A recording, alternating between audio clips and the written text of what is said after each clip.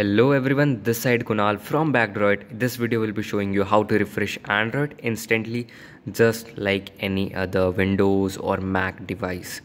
Here is how to do it on your smartphone.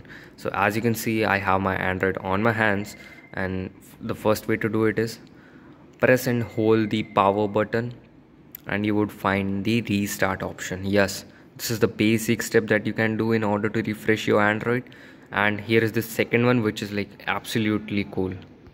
You have to clear the cache and the junk data on your android.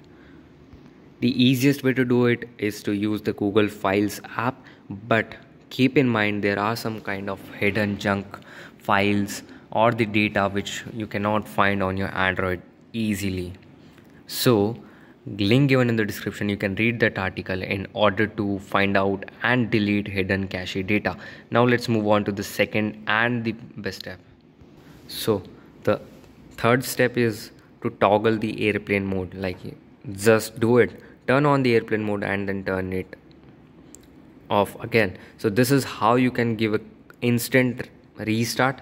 Not just to your network signals and bandwidths but also to your android now point 3 brings me to the point number 4 or the fourth way to restart is like just reset the system settings bro.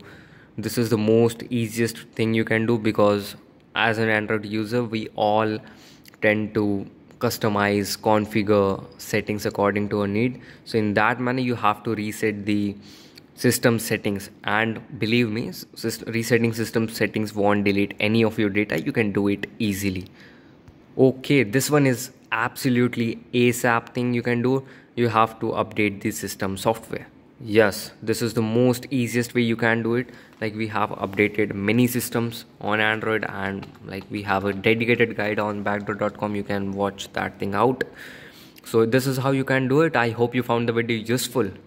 If does then make sure you hit that like button the thumbs up button bro